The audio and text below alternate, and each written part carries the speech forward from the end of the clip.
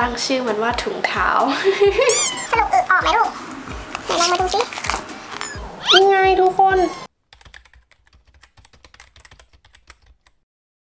สวัสดีค่ะ วันนี้ก็มาเจอกับจูนนะคะ วันนี้วันนี้จูนก็มีสมาชิกใหม่จะมาแนะนำนะคะ นั่นก็คือ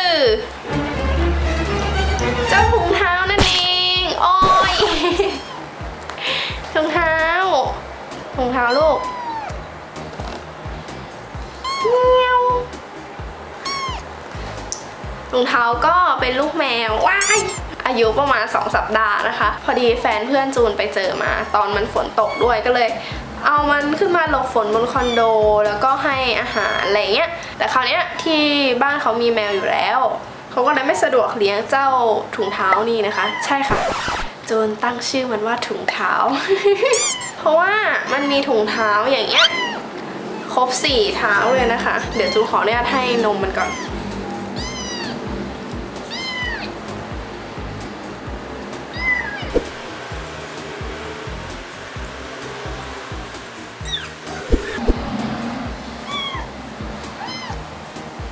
นั่นแหละค่ะ มันก็เลยชื่อว่าถุงเท้า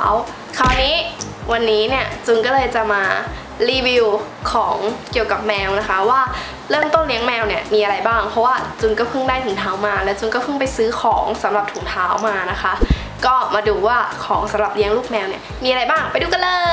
ย อย่างแรกนะคะ ก็เนื่องจากถุงเท้าเนี่ยยังไม่หย่านมเลย ก็เลยอะไรลูกเมียถุงเท้าเนี่ยยังไม่หย่านมเลยนะคะ ก็เลยต้องมีขวดนมให้มัน ขวดนมแบบนี้นะคะ มีขวดนมแล้วเนี่ยก็ต้องมีนมข้างในก็เป็นอันนี้เลย เป็นนมผงนะคะ แล้วก็ต้องมาชงให้เองเหมือนเหมือนนมเด็กอะ่ะเอออ้อคือเนื่องจากในอินเทอร์เน็ต เดี๋ยวคุณเข้าทำไมลูก อย่าไปยุ่งกับกระ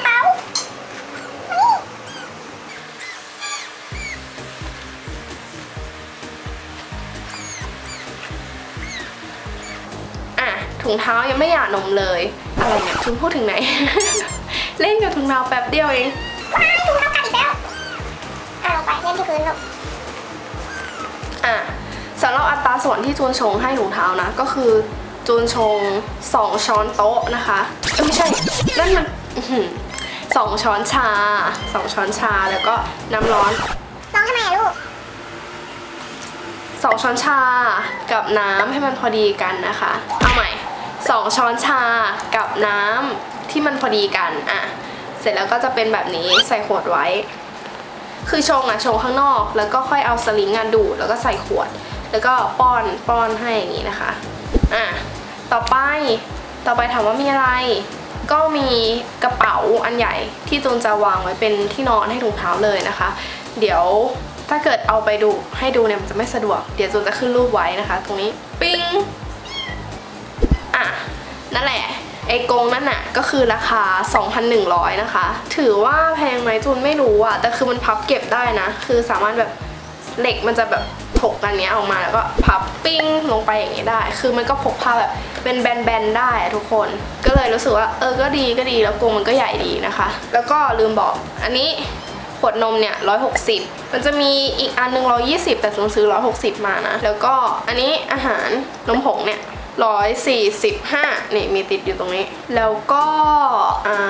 ซูนซื้ออะไรมาให้ถุงเท้าอีก มีพวกผ้านะคะ พวกผ้าเนี่ยก็จะไม่ได้ซื้อเป็นผ้าแบบมันมีเสื้อไหมพรมที่จูนไม่ใช้แล้วจูนก็เอาใส่เข้าไปให้ถุงเท้านะคะนั่นแหละจูนก็ใส่เข้าไปให้ถุงเท้าอ๋อ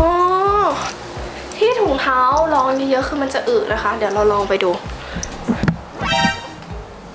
นั่นน่ะนั่นน่ะมัน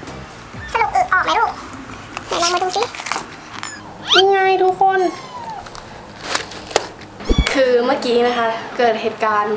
กระทันหันเลยก็คือถุงเท้า ร้องใหญ่เลย จุนก็เมื่อกี้เห็นไหมจุนก็แบบเฮ้ยมันเป็นอะไรวะ แล้วก็เลยเอามันจับไปใส่ในกระบะนะคะ มันก็ฉี่เรียบร้อย คือมันปวดฉี่นั่นแหละ มันร้องขนาดนั้นนะคะ กลับมาต่อของเราจุนบอกว่าเราไม่ต้องซื้อผ้า เพราะว่าเอาผ้าที่ไม่ใช้แล้วอะไปให้มันซุกได้นะคะ ก็มีผ้าให้มันซุกเผื่อมันจะหนาวอะไรเงี้ย เผื่อมันจะซุกแบบคิดว่าเป็นแม่มันอะไรอย่างเงี้ยค่ะ แล้วก็นอกจากนั้นสิ่งที่จูนซื้อมาก็จะมีทรายแมว เป็นทรายแบบที่สามารถทิ้งลงในชักโครกได้ คือทำมาจากวัสดุธรรมชาติพวกไม้อะไรอย่างเงี้ยก็เวลาบัญชีมันอืดอะไรเงี้ยจะได้แบบหยิบแล้วก็ไปทิ้งได้เลย แล้วก็จูนซื้อซื้อนี่ซื้อตุ๊กตาอีเจี๊ยบนะคะตุ๊กตาที่จูนตั้งชื่อให้มันว่าอีเจี๊ยบเพื่อให้เล่นกับถุงเท้าเราเข้าห้องน้ำทำไมลูก เออ เพื่อให้เล่นกับถุงเท้าเป็นเพื่อนกันพี่น้องกันนะคะ แล้วก็มีถุงสามเหลี่ยม